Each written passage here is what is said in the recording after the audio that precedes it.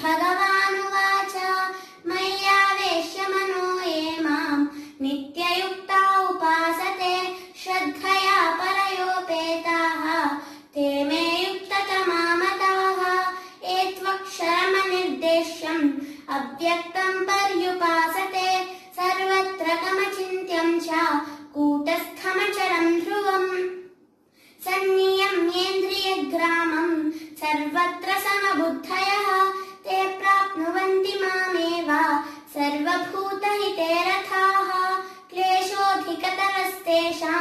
अव्यक्तासक्तचेतसाम् अव्यक्ता हि गतिर्दुःखम्।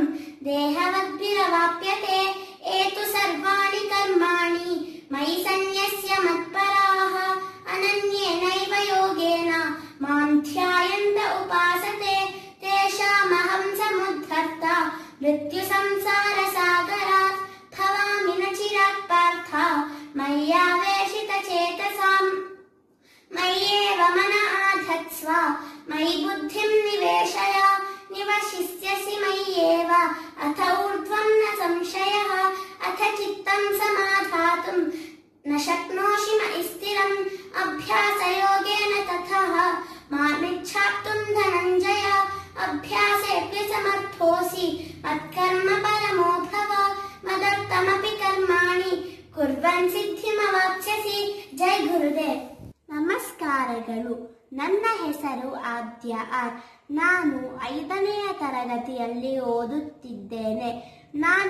ಈಗ ರಾಮ ಕೃಷ್ಣನ ಕಥೆಯನ್ನು ಹೇಳುತ್ತಿದ್ದೇನೆ. ರಾಮನ ಬುದ್ಧಿವಂತ ಮಗ. ಒಂದು ದಿನ ರಾಮನ ಮಗನು ಅರಮನೆಯ ತೋಟದಲ್ಲಿ ಕೆಲವು ಗುಲಾಬಿ ಹೂವುಗಳನ್ನು ಕಂಡನು. ಅವನಿಗೆ ತನ್ನ ತಾಯಿಯ ತಾಯಿಗೆ ಸ್ವಲ್ಪ ಹೂವನ್ನು ಕೀಳಬೇಕು ಎಂದು ಅನಿಸಿತು. ಅದಕ್ಕೆ ಅವನು ಕೆಲವು ಗುಲಾಬಿ ಹೂವನ್ನು ಕೀಳಲು ಶುರು ಮಾಡಿದ. ಅಲ್ಲಿದ್ದ ಸೇವಕರು ಅವನನ್ನು ನೋಡಿ ಅವನ್, ಅವನನ್ನು ರಾಜರ ರಾಜರ ಹತ್ತಿರ ಕರೆದುಕೊಂಡು ಹೋಗಬೇಕು ಎಂದು ಅವರಿಗೆ ಅನ್ನಿಸಿತು. ಅದಕ್ಕೆ ಅವರು ತೆನಾಲಿರಾಮನ ಮಗನನ್ನು ಮಗನನ್ನು ಹಿಡಿದು ರಾಜರ ರಾಜರ ಹತ್ತಿರ ಕರೆದುಕೊಂಡು ಹೋಗುತ್ತಿದ್ದರು. ಅಲ್ಲಿ ತೆನಾಲಿರಾಮನು ಸೇವಕರನ್ನು ನಿಲ್ಲಿಸಿ ಕೇಳಿದ, ನನ್ನ ಮಗನನ್ನು ಎಲ್ಲಿ ಕರೆದುಕೊಂಡು ಹೋಗುತ್ತಿರುವಿರಿ ಎಂದು ತೆನಾಲಿರಾಮನು ಕೇಳಿದನು. ಅದಕ್ಕೆ ಸೇವಕರು ಹೇಳಿದರು, ಇವನು ಅರಮನೆಯ ತೋಟದಲ್ಲಿ ಈ ಗುಲಾಬಿ ಹೂವುಗಳನ್ನು ಕೀಳುತ್ತಿದ್ದ. ನಾವು ಇವನನ್ನು ರಾಜರ ಹತ್ತಿರ ಕರೆದುಕೊಂಡು ಹೋಗುತ್ತಿದ್ದೀವಿ ಎಂದು ಸೇವಕರು ಹೇಳಿದರು. ಅದಕ್ಕೆ ತೆನಾಲಿರಾಮನು ಹೇಳಿದನು. ನನ್ನ ಮಗ ಇಂಥ ತಪ್ಪು ಮಾಡುವುದೇ ಇಲ್ಲ ಎಂದು ಹೇಳಿದನು. ಅದಕ್ಕೆ ಸೇವಕರು ಹೇಳಿದರು, ಬೇಕಾದರೆ ನೀವೇ ನೋಡಿ, ಇವನ ಕೈಯಲ್ಲಿ ಗುಲಾಬಿ ಹೂವುಗಳು ಇದೆ ಎಂದು ಸೇವಕರು ಹೇಳಿದರು. ರಾಮ ಹೇಳಿದನು, ನನ್ನ ಮಗ ತಪ್ಪು ಮಾಡಿದ್ದಾನೆ, ಅವನಿಗೆ ಶಿಕ್ಷೆ ಆಗಲೇಬೇಕು ಎಂದು ಹೇಳಿದನು. ಆದರೆ ಅವನ ಮನಸ್ಸಲ್ಲಿ ಅವನಿಗೆ ತನ್ನ ಮಗನ ಮಗನಿಗೆ ಶಿಕ್ಷೆ ಆಗಲು ಬೇಡವಿತ್ತು. ಅವನಿಗೆ ಒಂದು ಉಪಾಯ ಹೋಲಿತು. ಉಪಾಯ ಏನು ಅಂತ ನಾನು ಹೇಳಲೆ, ಅವನು ತನ್ನ ಮೇಲಿನ ವಸ್ತ್ರವನ್ನು ತನ್ನ ಮಗನ ಮೇಲೆ ಹಾಕಿದ. ಆಮೇಲೆ ತನ್ನ ಮಗನಿಗೆ ಅರ್ಥವಾಯಿತು, ಓ, ನನ್ನ ತಂದೆ ನನ್ನನ್ನು ಈ ಶಿಕ್ಷೆಯಿಂದ ಪಾರು ಮಾಡುತ್ತಿದ್ದಾರೆ ಎಂದು ತನ್ನ ಮಗನಿಗೆ ಅರ್ಥವಾಯಿತು. ರಾಮ ಸೇವಕರಿಗೆ ಹೇಳಿದನು, ಇಲ್ಲಿ ಬಿಸಲು ತುಂಬಾ ಇದೆ, ನನ್ನ ಮಗನನ್ನು ನಾನು ಈ ಮೇಲಿನ ವಸ್ತ್ರದಿಂದ ಪಾರು ಮಾಡುತ್ತೇನೆ ಎಂದು ಹೇಳಿದನು. ಅದಕ್ಕೆ ದಾರಿಯುದ್ದಕ್ಕೂ, ಅರಮನೆಯ ದಾರಿಯುದ್ದಕ್ಕೂ ರಾಮನ ಮಗ ಗುಲಾಬಿ ಹೂವನ್ನು ತಿನ್ನಲು ಶುರು ಮಾಡಿದ. ಅರಮನೆಗೆ ಹೋದ ತಕ್ಷಣ ಸೇವಕರು ಮಹಾಪ್ರಭುವಿಗೆ ಹೇಳಿದರು, ಮಹಾಪ್ರಭುಗಳೇ, ನೋಡಿ ಇವನು ನಮ್ಮ ಅರಮನೆಯ ತೋಟದಿಂದ ಈ ಗುಲಾಬಿ ಹೂವನ್ನು ಕೀಳುತ್ತಿದ್ದಾನೆ ಎಂದು ಸೇವಕರು ಹೇಳಿದರು. ಆಗ ರಾಜರು ಕೇಳಿದರು ಎಲ್ಲಿ ಇವನ ಕೈಯಲ್ಲಿರುವ ಗುಲಾಬಿ ಹೂವು ನಿಮ್ಮತ್ತರ ಇದೆ ಇದೆಯೇ ಎಂದು ಕೇಳಿದರು ಆಗ ಒಬ್ಬ ಸೇವಕ ಹೇಳಿದನು, ಇಲ್ಲ, ಬೇಕಾದರೆ ನೀವೇ ನೋಡಿ, ಇವನ ಕೈಯಲ್ಲೇ ಇದೆ ಎಂದು ಹೇಳಿದರು. ಅದಕ್ಕೆ ಮಹಾರಾಜರು ಹೇಳಿದರು, ಇಲ್ಲಿ ನೋಡಿ, ಈ ಮೇಲಿನ ವಸ್ತ್ರವನ್ನು ತೆಗೆದು ನೋಡಿ, ಇವನ ಕೈಯಲ್ಲಿ ಒಂದು ಗುಲಾಬಿ ಹೂವು ಇಲ್ಲವಲ್ಲ ಎಂದು ಮಹಾರಾಜರು ಹೇಳಿದರು. ಆಗ ಸೇವಕರಿಗೆ ತುಂಬಾ ಬೇಜಾರಾಯಿತು. ತೆನಾಲಿರಾಮನ ಮಗ ಹೇಳಿದನು, ನನ್ನ ತಂದೆಯ ಹೆಸರನ್ನು ಹಾಳು ಮಾಡಲು ಇವರು ಹಿಂಗೆ ನನ್ನನ್ನು ಶಿಕ್ಷೆ ಕೊಡಬೇಕು ಎಂದು ಹೇಳಿದರು ಎಂದು ಆ ಮಗು ಹೇಳಿತು. ಅದಕ್ಕೆ ಸೇವಕರು, ಅದಕ್ಕೆ ಮಹಾಪ್ರಭುಗಳು ಆ ಮಗುವನ್ನು ಮನೆಗೆ ಕಳಿಸಿ ಕಳುಹಿಸಿ ಸೇವಕರಿಗೆ ಬೈದರು. ಇದರ ನೀತಿ ಉಪಾಯ ಬಲ್ಲವನಿಗೆ ಅಪಾಯವಿಲ್ಲ. ಧನ್ಯವಾದಗಳು. ನಮಸ್ಕಾರ. My name is Adya R. I am studying in 5th standard. I am going to chant Bhagavad Gita.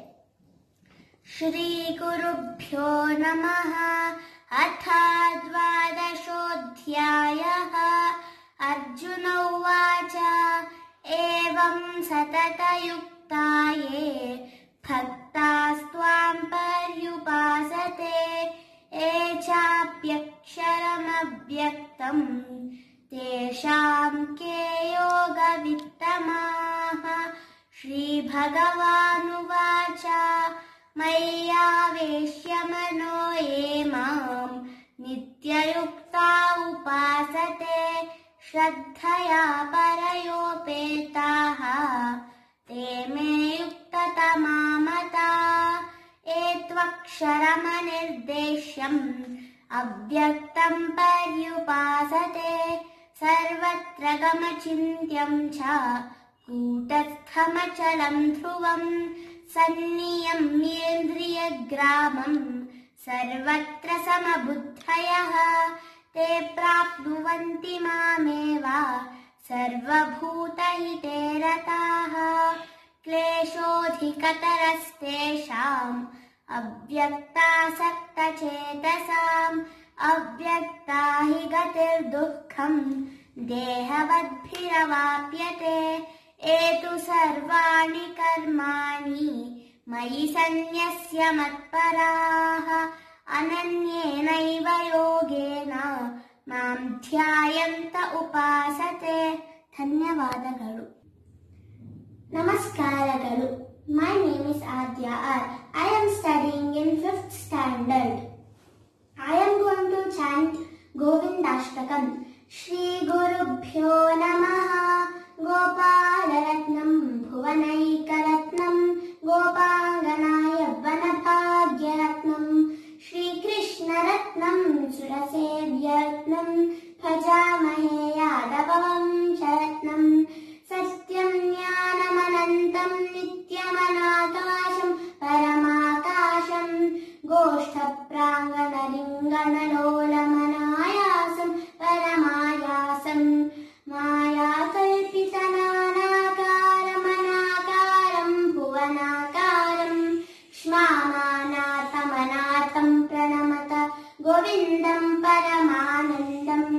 മൃത്സ്നാമത്സീഹേതി യശോദാതാടന ശൈശവ സന്ത്രാസം വ്യാപിതവക്ത്രാലോകിതലോകാലോക ചതുർദശ लोकाय लोकत्रयपुरमूलस्तम्भम् लोकालोकमनालोकम् लोकेशम् परमेशम् प्रणमत गोविन्दम् परमानन्दम्।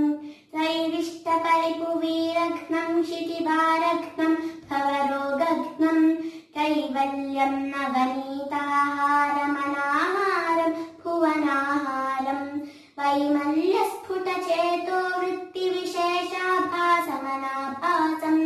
शैवम् केवलशान्तम् प्रणमत गोविन्दम् परमानन्दम्।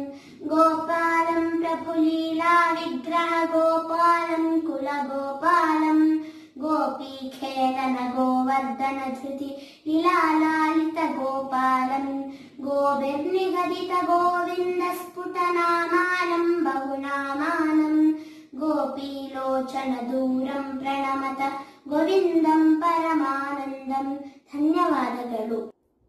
ನಮಸ್ಕಾರಗಳು. My name is Aadya R. I am studying in fifth standard I am singing ಅಂಗಾಳದೊಳು ರಾಮನಾಡಿದ. ಅಂಗಾಳದೊಳು ರಾಮನಾಡಿದ. ಚಂದ್ರ ಬೇಕೆ